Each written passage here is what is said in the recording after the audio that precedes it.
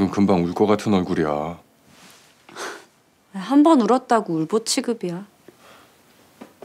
24시간 항시 대기 중. 어머니 또 편찮으셔? 아니 요새 주사 맞는 거 반응이 좋대. 다행이다. 오빠 나 자리 너무 오래 비었어. 갈게 오빠. 그래. 소유야. 어? 속에다 그만 묻어. 터질 때까지 참지 말라고. 어.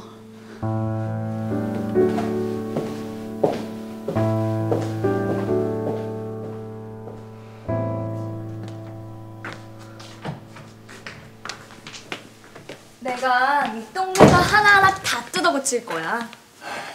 그러게 왜 나 같은 똥매너랑 약혼을 하자 그러냐고 점심 맛있게 먹었어요?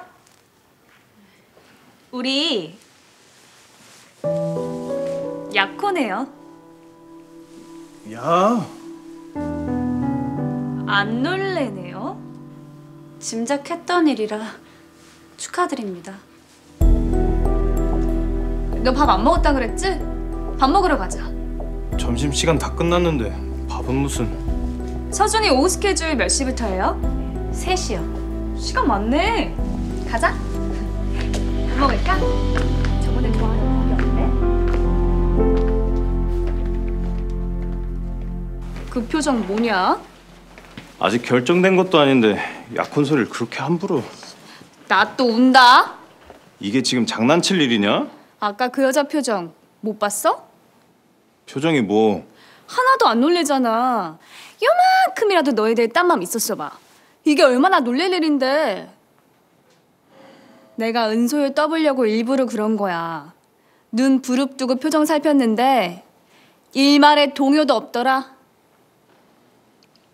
그러니까 더 주접 떨지 말고 인생 멘토 세연 오빠 놓치지 말고 인생 여자 나 놓치지 말라고.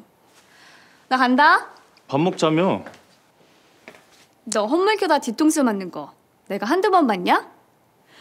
실연의 아픔 달랠 시간 줄게. 너 하루면 괜찮아지잖아. 안녕, 비앙세?